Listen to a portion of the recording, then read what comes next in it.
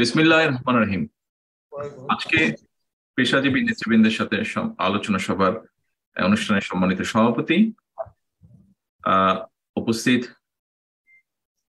মহাসচিব সাহেব যেন মির্জা আলমগীর সহ উপস্থিত নমুন সাহেব সহ মঞ্চ উপবিষ্ট নেতৃবৃন্দ এবং আমার সামনে উপস্থিত বিভিন্ন পর্যায়ে পেশাজীবী নেতৃবৃন্দ, আসসালাম আলাইকুম। আজকে নেতৃবৃন্দ, এখানে আমরা সকলে একত্রিত কেন হয়েছি? এতক্ষণ আলোচনায় সকলের কাছেই পরিষ্কার বিষয়টি। নেতৃবৃন্দ, আপনারা সকলে এখানে বিভিন্ন পেশার মানুষ আপনারা আজকে উপস্থিত আছেন এবং যারা উপস্থিত আছেন শুধু পেশার মানুষ নয়, সেই পেশার বড় একটা অংশকে, বৃহৎ অংশকে আপনারা নেতৃত্ব দেন। কাজেই আপনারা লিডার হিসেবে এখানে উপস্থিত আছেন বিভিন্ন পেশাজীবী সংগঠনের পক্ষ থেকে। এবং নিশ্চয়ই আপনারা একটি বিষয় অলমোস্ট এভরিডে গত দশ বছর, পনেরো বছর ধরে ফেস করছেন। কি সেটা? সেটা হচ্ছে হ্যাঁ বিভিন্ন পেশা থাকলে মানুষ মাত্রই কিন্তু বিভিন্ন মতের সাপোর্টার হয়ে থাকে, রাজনৈতিকভাবে হোক, সামাজিক বিভিন্ন ইস্যুতে।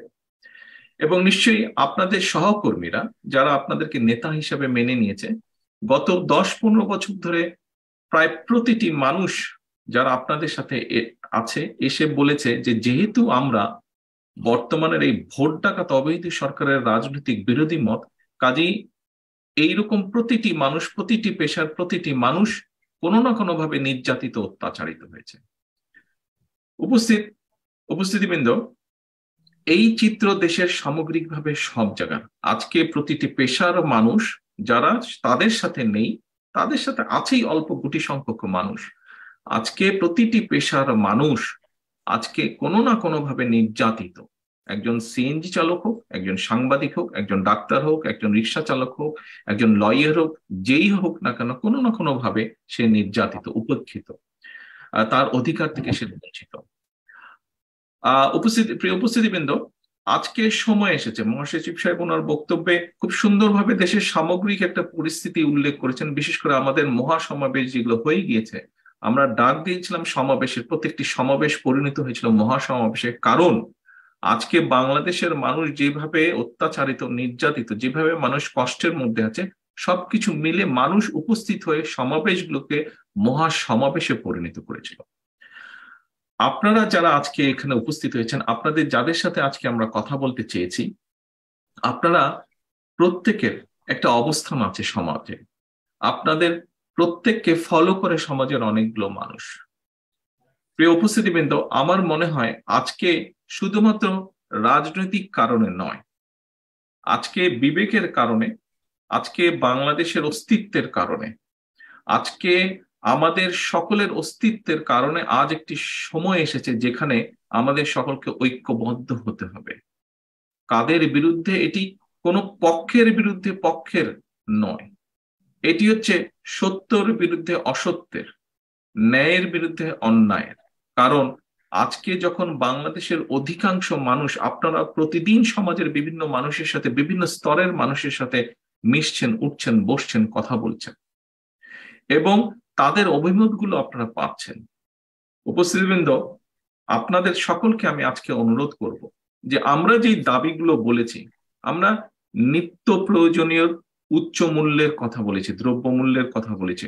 অসম্ভব দ্রব্য মূল্য মানে নিত্য প্রয়োজনীয় দ্রব্যের দাম অসম্ভব মূল্য। এটি কি কোনো রাজনৈতিক দাবি? এটি প্রতি মানুষের দাবি। যে কোনো সমাজের যে কোনো মানুষের দাবি এটি। কারণ এটির কষ্ট প্রতিটি মানুষ ভোগ করছেন প্রিয় নেতৃবৃন্দ, আপনারা এখানে অনেকেই আছেন।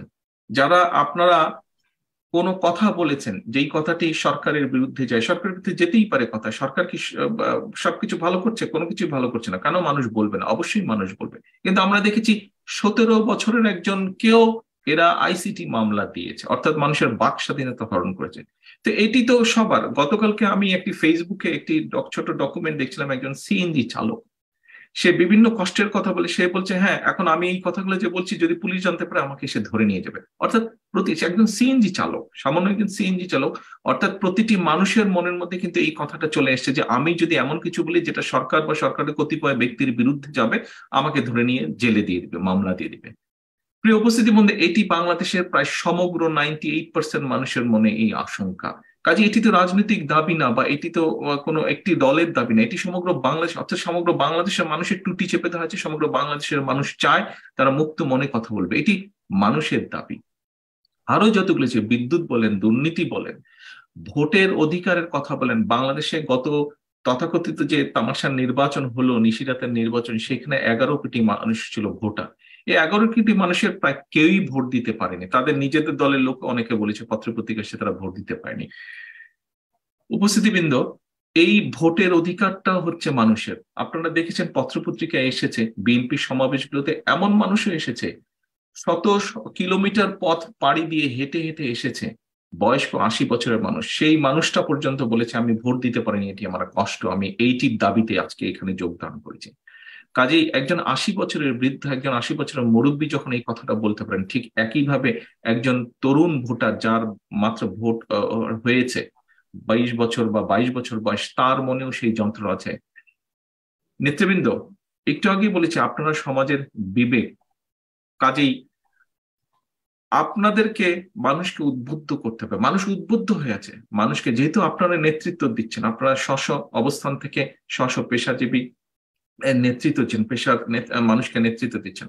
আজকে সময় এসেছে আমাদের সকলকে সামনে এগিয়ে আসতে হবে। শুধু যে দলের পক্ষ থেকে হ্যাঁ পেশাজীবী হিসাবে আপনাদের সাথে হয়তো বাংলাদেশ জাতীয়তাবাদী দল, এই দলটির সম্পর্ক আপনাদের সাথে অনেক নিবিড়।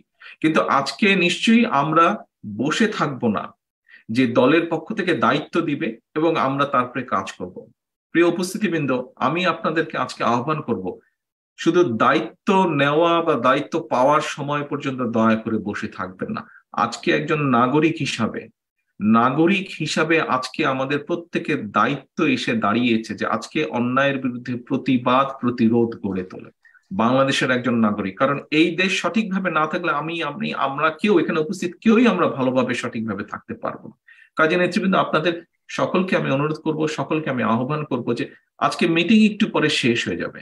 কিন্তু আপনারা কিন্তু থাকবেন এবং আপনাদের মেধা, আপনাদের অবস্থান, আপনাদের ইনফ্লুয়েন্স সবকিছুই কিন্তু বর্তমান থাকবে। কাজেই এটিকে কাজে লাগাতে হবে এবং এটিকে কাজে লাগিয়ে কীভাবে অত্যাচার নির্যাতন হচ্ছে সারা বাংলাদেশে, বিশেষ করে দশ তারিখকে কেন্দ্র করে, আপনার প্রত্যেকেই তার চাক্ষুষ প্রমাণ, প্রত্যেকের মধ্যে কিছু কিছু আঁচের অনুভব করেছেন। সমগ্র বাংলাদেশে এই আঁচ আছে। কাজে নেতৃবৃন্দ, এই অন্যায় চলতে দেওয়া যায় না। যে কোনো সাধারণ মানুষ, একজন সিএনজি চালক যদি সিএনজি চালক যদি এর প্রতিবাদ করতে পারে, একজন রিক্সা চালক যদি এর প্রতিবাদ করতে পারে, একজন মুদির দোকানদার যদি এর প্রতিবাদ করতে পারে, প্রিয় উপস্থিতিবৃন্দ, আপনারা সমাজের অনেক বিবেকবান মানুষ। আপনাদের দিকে সমাজের বহু লক্ষ কোটি মানুষ তাকিয়ে থাকে। আজকে যদি যুক্তি তর্কের ভিতরে পেশাজীবী, তার মানে পেশাজীবী নেতৃবৃন্দ বা একজন পেশার মানুষ যারা বিভিন্ন মানুষকে নেতৃত্ব দেয় তারা কিন্তু বিবেক দিয়ে চলে, শিক্ষা সবকিছু যোগ্যতার ভিত্তিতে তারা চলে। আজকে আমাদের রাজনৈতিক যারা প্রতিপক্ষ, তাদের যারা পেশাজীবী নেতৃবৃন্দ আছে, তারাও কিন্তু যুক্তি তত্ত্বের ভিত্তিতে কথা বললে কথা বলতে পারবে না। হ্যাঁ গায়ের জোরে তো অনেক কিছুই বলা যায়। কিন্তু যেই দাবিগুলো আমরা দিয়েছি, এটি কোনো রাজনৈতিক দাবি না। যেই কারণে বাংলাদেশের লক্ষ লক্ষ মানুষ সমাবেশগুলোতে যোগদান করে, সমাবেশগুলোকে মহা সমাবেশে পরিণত করেছিল তাদের যে দাবিগুলো, এটি কোনো রাজনৈতিক দলের দাবি না, এটি সমগ্র বাংলাদেশের মানুষের দাবি। কাজে আসুন, আমরা বাংলাদেশের মানুষের পাশে দাঁড়াই। আমরা দেখেছি, আমাদের যে রাজনৈতিক প্রতিপক্ষ আওয়ামী লীগ, তাদের লোকজন প্রতিবেশী দেশকে গিয়ে সহযোগিতা বলে আসে সহযোগিতার কথা।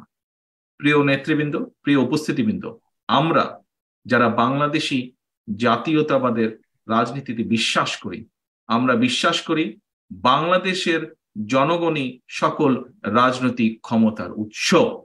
কাজে আসুন, সেই জনগণকে সাথে নিয়ে, সেই জনগণকে সাথে নিয়ে আমরা জনগণের দেশ নিয়ে যে আশা, যে আকাঙ্ক্ষা, সেই আশা আকাঙ্ক্ষাকে যাতে বাস্তবায়ন করতে পারি, বাস্তবে রূপ দিতে পারি, সেই প্রচেষ্টার দিকে আমরা এগিয়ে যাই। আসুন, আমরা সকলে মিলে জনগণের আশা, আকাঙ্ক্ষা দশই ডিসেম্বরকে আমরা সফল করি। সকলকে আন্তরিক ধন্যবাদ সকলকে আন্তরিক শুভেচ্ছা। আসসালাম আলাইকুম।